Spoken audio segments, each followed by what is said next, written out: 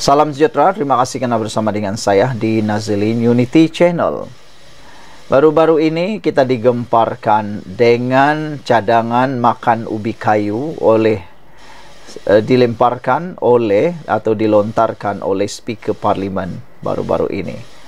Oleh sebab itulah kita setuju dengan kenyataan daripada Sabudin bahawa sudah sampai masanya pemimpin perlu diberi kursus bercakap.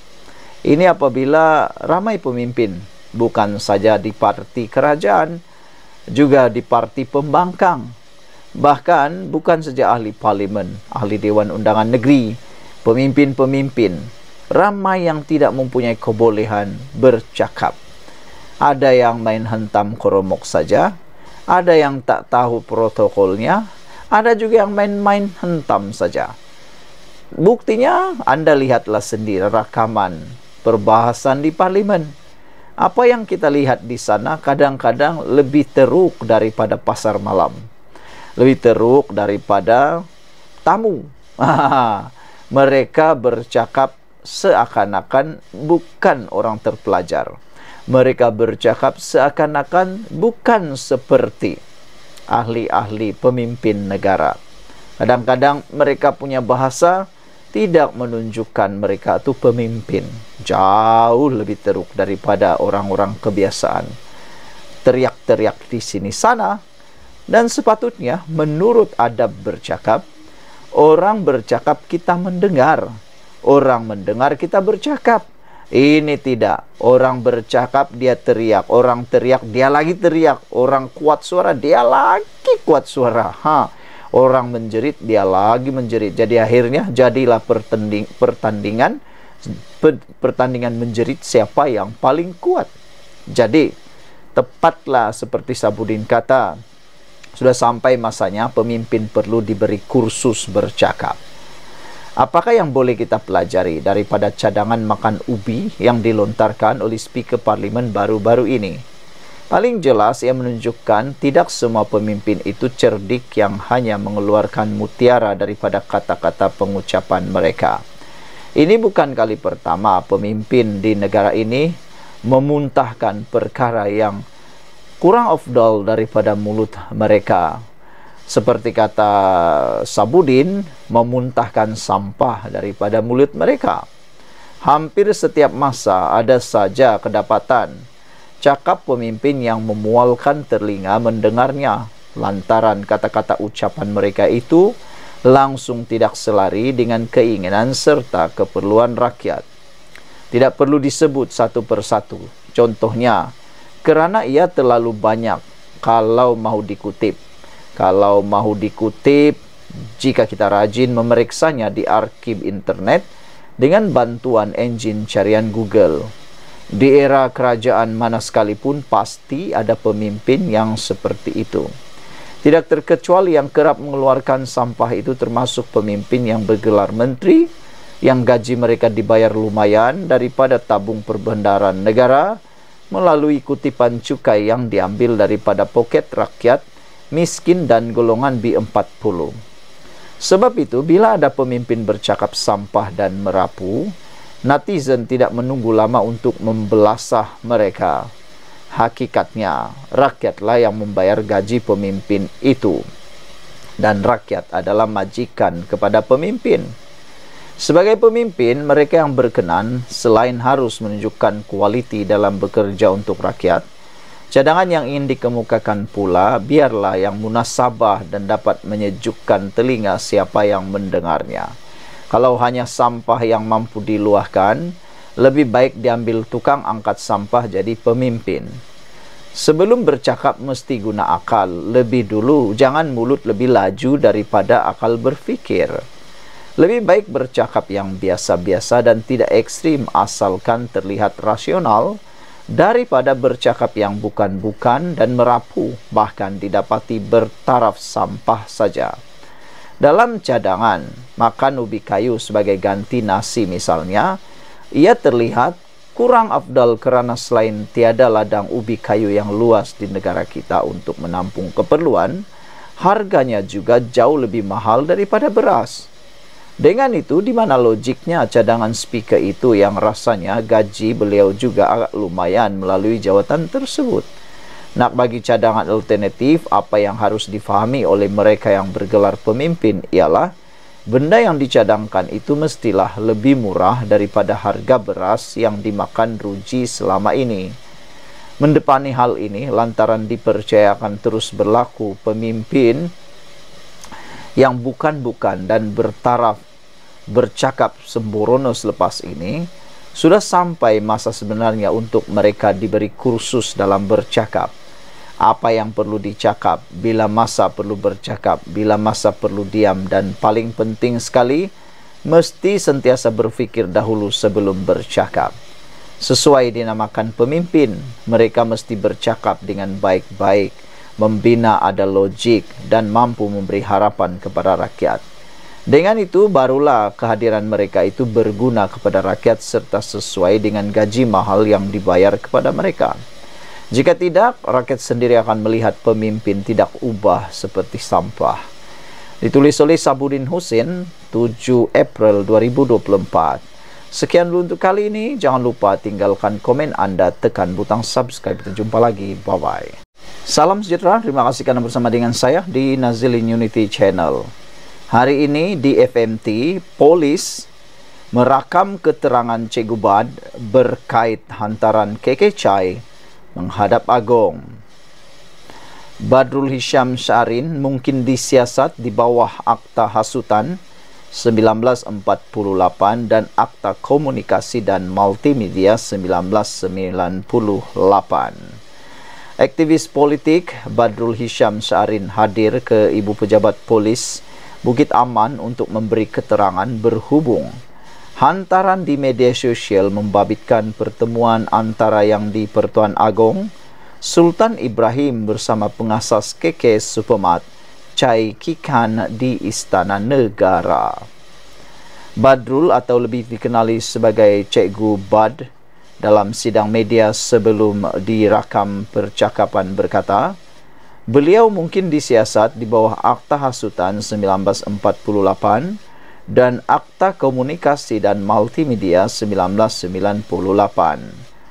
Saya hadir ke Bukit Aman kerana dipanggil polis berhubung hantaran saya pada 5 April yang membela imej Raja-Raja Melayu daripada dirosakkan imejnya, kata beliau netizen mula mempersoalkan kata mereka wah boleh tahan juga cikgu Bad ni tiba-tiba pula menjadi uh, pembela imej raja-raja Melayu kata beliau.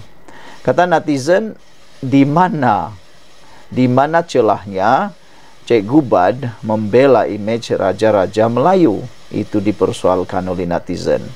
Tapi menurut Cik Gubad, beliau menulis dengan penuh sopan dan melontar pandangan.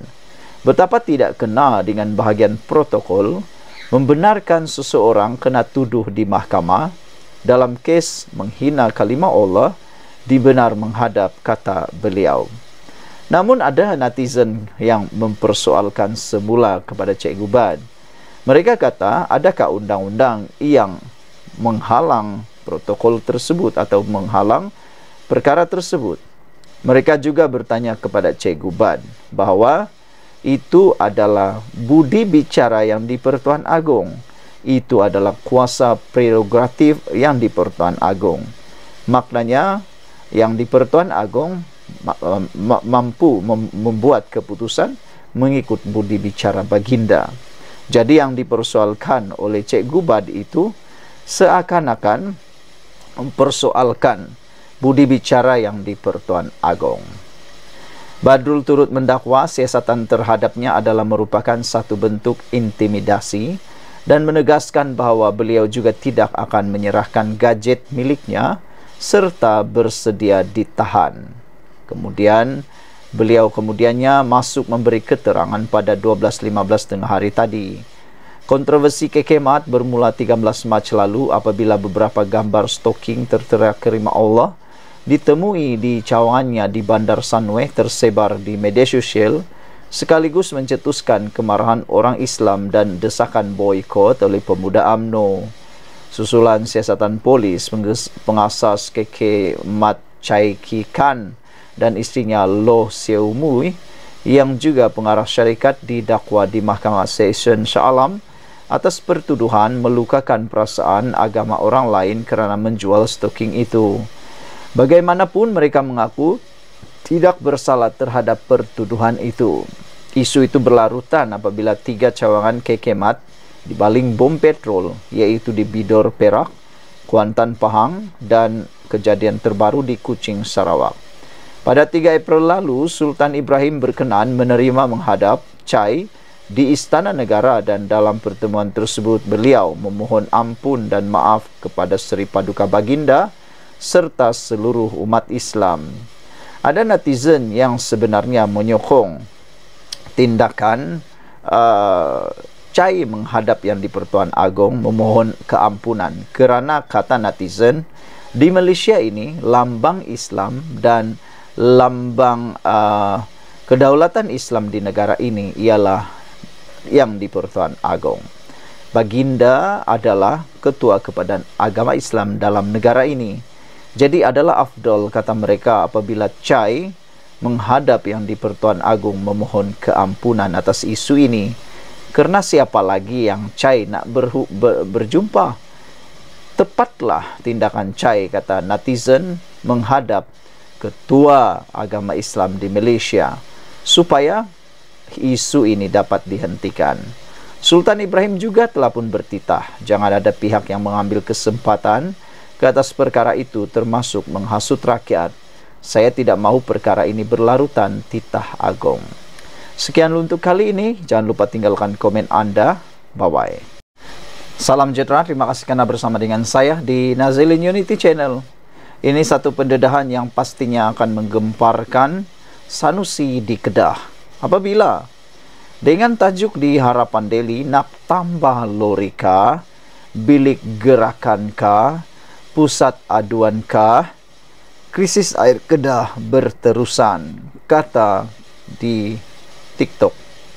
Seorang pengguna TikTok, Saiful Hazizi di Tanjung Dawai mempersoalkan kebersediaan kerajaan negeri Kedah pimpinan PAS dalam menghadapi krisis air yang bakal timbul menjelang sambutan Aidilfitri. Saya duduk di tepi paip air. Bagi saya ini satu sumber daya tarikan di Tanjung Dawai. Cuma saya nak tanya kepada kerajaan negeri, apa perancangan kerajaan negeri untuk menangani krisis air? menjelang perayaan Aidilfitri nanti. Di Tanjung Dawai ini, nak mandi pun tak boleh, nak mencuci-cuci pun tak boleh. Anak-anak dan saudara dari luar nak balik nak beraya. Tak pernah dan tak dengar lagi lah apa benda yang depa nak buat lagi. Nak tambah lori kah? Nak buat gilik gerakan kah? Nak menambah pusat aduan, aduan kah? tak ada katanya. Adakah benda ni akan jadi macam itu saja soal beliau lagi. Macam mana pun exco ayak kata benda ni akan siap dalam masa dua tahun lagi iaitu pada tahun 2026. Katanya merujuk kepada pengumuman Exco Kerja Raya Sumber Asli Bekalan Air Sumber Air dan Alam Sekitar Yusuf Zakaria di Dewan Undangan Negeri. Kesian rakyat tulis beliau di dalam pendedahan kali ini. Saudara-saudara sekalian, dengan pendedahan kali ini, ia cukup uh, melengkapkan sudah kritikan rakyat Kedah terhadap kepimpinan Sanusi. Antara yang juga jadi isu baru-baru ini ialah tentang isu bola sepak. Ha, apabila netizen ataupun peminat bola sepak di Kedah juga turut mempersoalkan tentang apa yang Sanusi sudah lakukan di Kedah khususnya untuk pasukan bola sepak KDAFC. Mereka bertanya kepada Sanusi tentang hal itu. Saudara saya carikan kepada anda isu tentang bola sepak tersebut yang mana mereka begitu jelas menyindir kepimpinan Sanusi sehingga ada yang berani mengatakan dapat dekat hang semua lingkup penyokong bengang Sanusi klaim banyak tolong KDAFC. Laporan ini adalah pada April 7 di Harapan Delhi. Penyokong kelab bola sepak Kedah Darul Aman KDAFC meluahkan rasa tidak puas hati terhadap Datuk Seri Muhammad Sanusi Maknur selepas pasukan mereka dikenakan hukuman pemotongan tiga mata serta denda RM50,000. Ini susulan kegagalan KDAFC membuat pembayaran penuh tunggakan gaji pemain dari skuad musim lalu selepas diberikan masa untuk menyelesaikan keseluruhan tunggakan gaji berkenan pada 30 Mac lalu. Kata peminat itu belum pernah lagi terjadi seperti itu. Penyokong Kedah meluahkan rasa tidak puas hati apabila Menteri Besar Kedah mengeluarkan kenyataan bahawa beliau sentiasa menyokong sang kenari.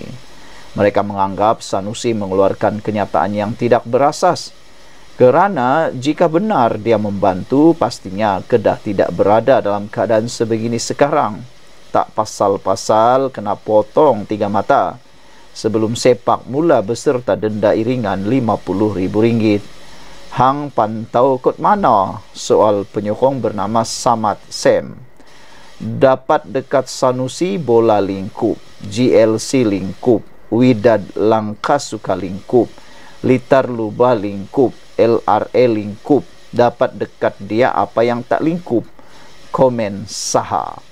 Habis bungkus di bawah Menteri Bahasa yang sebenarnya tak cedik pun, kata Khairi. Nanti dia cakap pula, pengurusan KDA itu lintah darat pula. Bila orang cemerlang, datanglah dia ambil kredit naikkan nama Ulas Muhammad Aznin. Sanusi pada semalam berkata dia sentiasa memberikan bantuan apabila Kedah memerlukan terutamanya apabila terpaut dengan isu keuangan. Menurut Sanusi, bantuan yang disalurkan menerusi Persatuan Bola Sepak Kedah itu adalah menerusi dana yang lain dan bukannya dari wang kerajaan negeri. Kata Sanusi, Selama ini kita bantu melalui KFA. Sampai sekarang KFA bantu dan terbaharu kita salurkan beberapa juta ringgit lagi cuma tak mahu bising kata beliau. Lepas itu mereka masih kata kita tak tolong 16 juta ringgit bukan jumlah sikit kata Sanusi.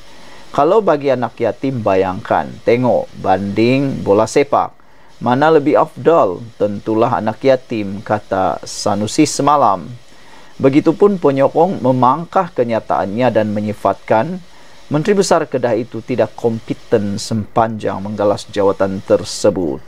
Sementara itu, pengerusi kelab penyokong Kedah Darul Aman, Nur Hasmadi Hamzah berkata, hukuman yang dikenakan kepada pasukannya menjadi sejarah pahit buat bola sepak Kedah dan mengejutkan penyokong kerana belum pernah terjadi sebelum ini.